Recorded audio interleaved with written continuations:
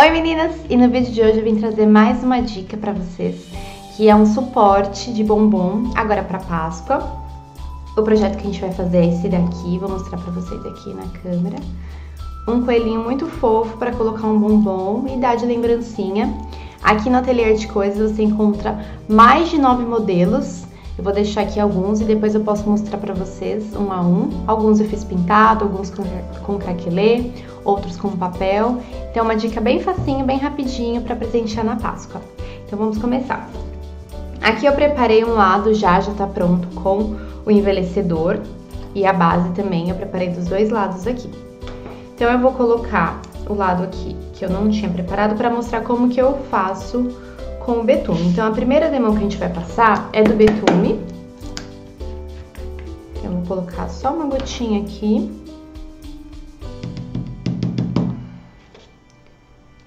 E eu vou borrifar um pouquinho de água. Só para ele ficar mais clarinho, mais clarinho. E aí eu vou pintar com o próprio pincel, porque é só uma demão. Então, eu vou passar uma demão aqui, ó. Eu prendo aqui no pratinho só para ficar mais fácil de manusear. Então, ele fica meio aguadinho mesmo. Só uma primeira demão, tá?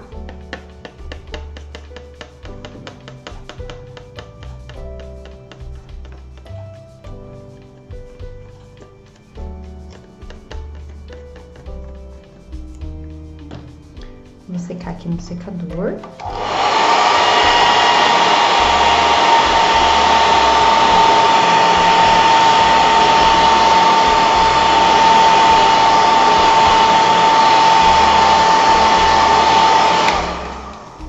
Mais um pouquinho.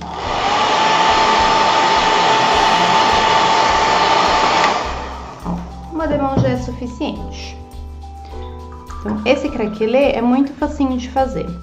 Depois que eu apliquei a cor, no caso aqui a gente escolheu o betume, eu vou aplicar duas demãos da base. Então a base é esse produto aqui, base para tinta Craquelex, da Acrylex. Então a gente vai aplicar duas demãos dele também.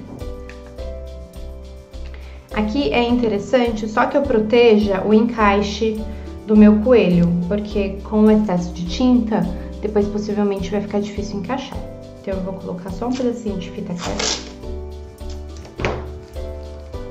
só onde encaixa aqui.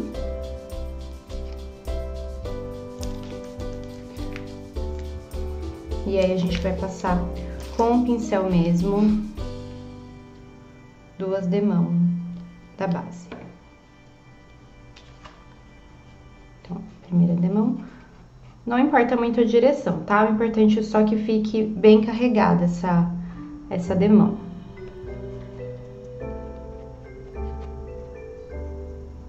E é bom que com o pincel eu tenho controle e eu vou tentando não borrar tanto as laterais, porque daí depois é mais fácil eu dar o acabamento em volta do meu coelhinho. Todos esses produtos você encontra na nossa loja física, que fica na Avenida do Tinha 252, ou pelo nosso site, que é atelierartecoisas.com.br. Então, passei aqui a primeira demão. E essa parte posso acelerar no secador.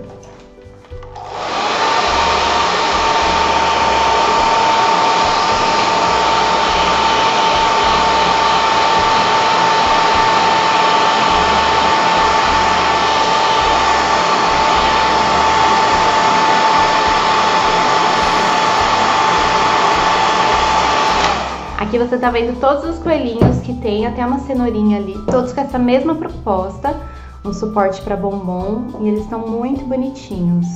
Tem com carinha, tem com papel de scrap aqui, ó, esse daqui que eu encapei só. Olha que gracinha. A cenourinha aqui é toda pintadinha. Um mimo aí bem bonitinho pra essa época festiva. Então aqui eu vou aplicar a segunda demão da base, que é pra ficar bem carregadinho.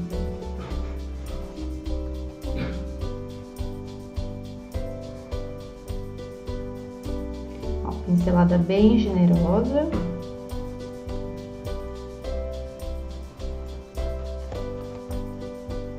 com o pincel macio, tá, gente? É importante que o pincel seja macio. E aí, vamos secar de novo.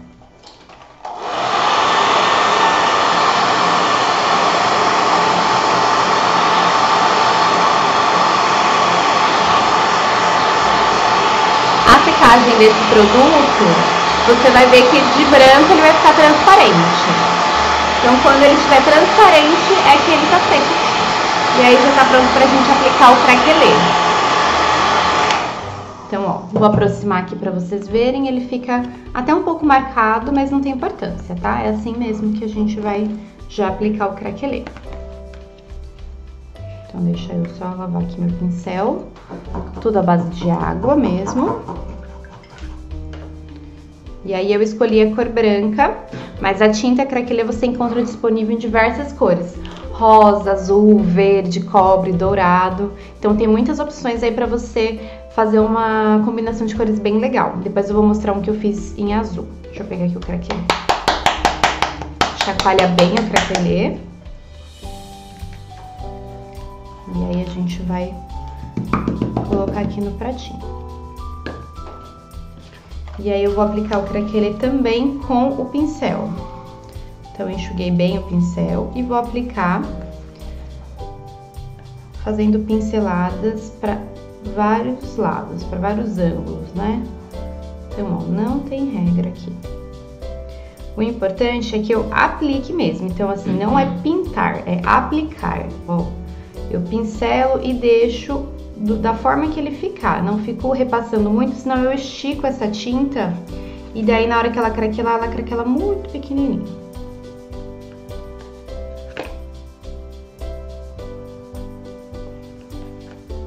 Então, bem grossinho, ele vai ficar com efeito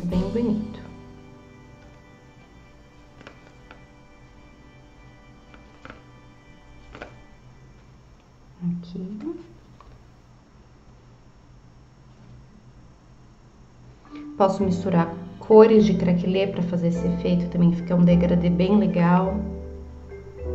Dá para criar bastante coisa. Então, passei em tudo e aí eu posso vir e acelerar com o secador.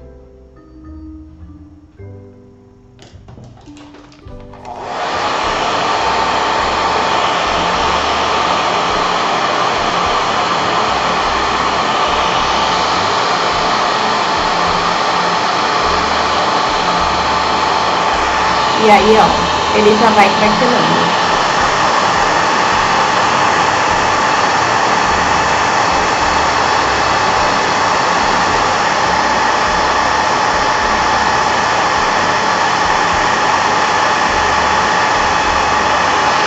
Vai dando um jeito bem legal, bem fofinho de fazer.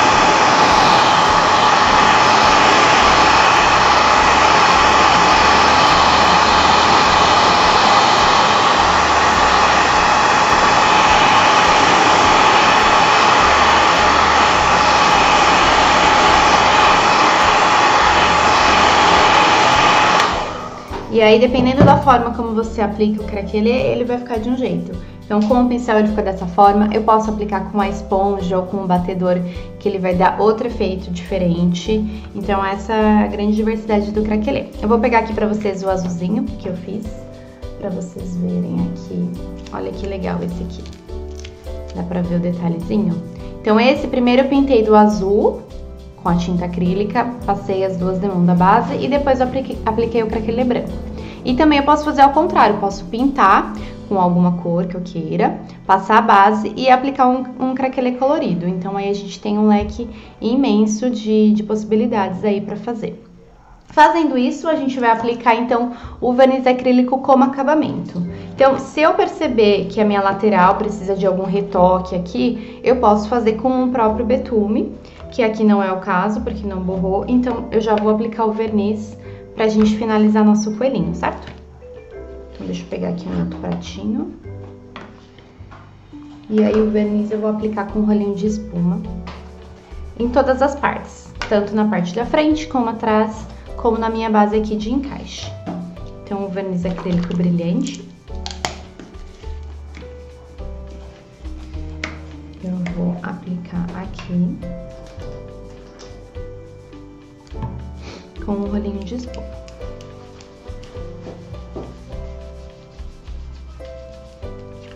Ó.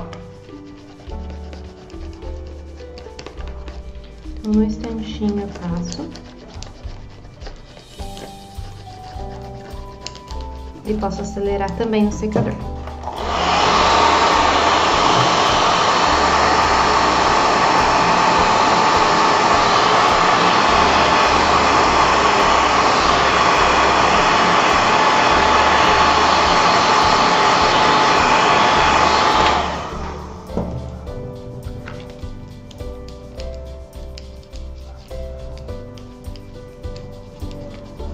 Mais um limão. E aqui eu já vou aproveitar e fazer também na base. Vou pegar um pratinho aqui e a fita crepe só para prender a base, para ficar mais fácil de envernizar.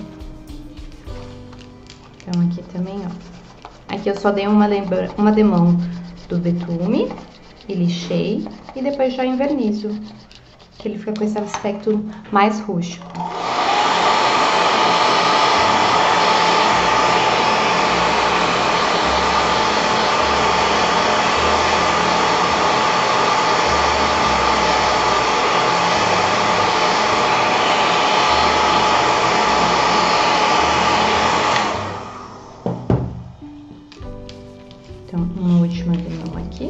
Gente encaixar e já montar nosso coelhinho.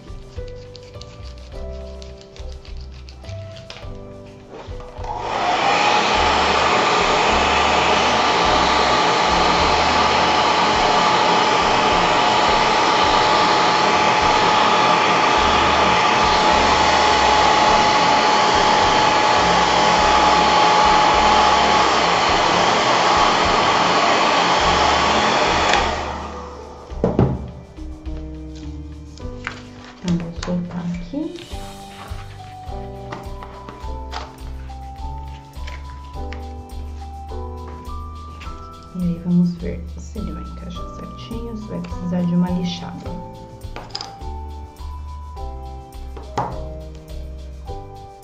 E olha só que gracinha que ficou. Muito simples. Deixa eu encaixar o bombom aqui pra vocês verem.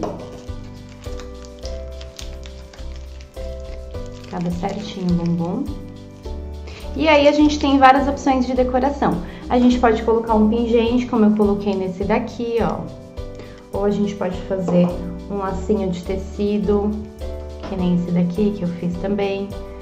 Ou um lacinho de fita mesmo, aí vai dar criatividade. Colocar botãozinho, a gente que tem que mexe com artesanato sempre tem alguns adereços que dá para colocar nos coelhinhos e vai ficar um charme. Então lembrando que todo esse material você encontra disponível na nossa loja física, que fica na Avenida Tinga 252, ou na nossa loja virtual arroba atelierdecoisas.com.br. Se você gostou desse vídeo, compartilhe, marque seus amigos. Me sigam nas minhas redes sociais, que é o arroba Gabriela Paulette, que eu sempre posto foto de projetos novos que eu fiz. Lá tem fotos desses e de todos os outros coelhinhos e de mais projetos. Então eu espero que vocês tenham gostado e até o próximo vídeo. Tchau, tchau!